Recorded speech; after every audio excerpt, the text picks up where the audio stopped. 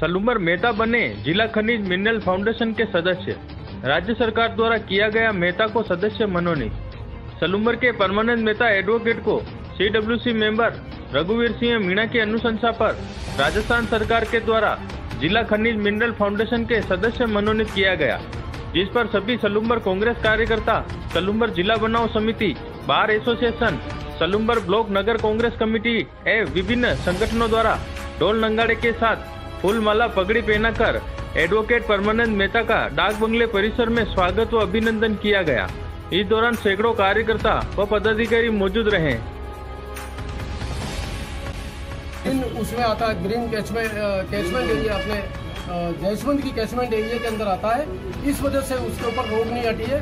अन्यथा रूप से जो पट्टे बनाए जाते हैं वो पट्टे बनाने का काम है वो तो जारी रहेगा। वो अपने क्षेत्र से भिन्न जो भी क्षेत्र है ऐसी जो इस नदी के अलावा दूसरी अन्य नदियाँ हैं उसके ऊपर पट्टे बनने का काम निश्चित तौर से किया जाए।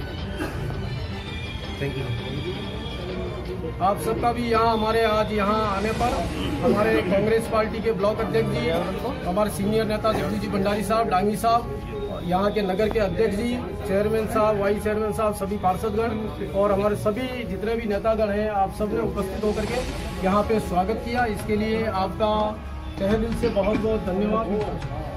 भर देते आज छप्पन की बात होगी सर। तो अभी तक जिला परिवहन कार्यालय पर अभी कोई अपडेट हुई नहीं सर। मैं इतने कद का आदमी नहीं हूँ कि सर, मैं मैं छप्पन के लिए मैं खुद कुछ करूँ।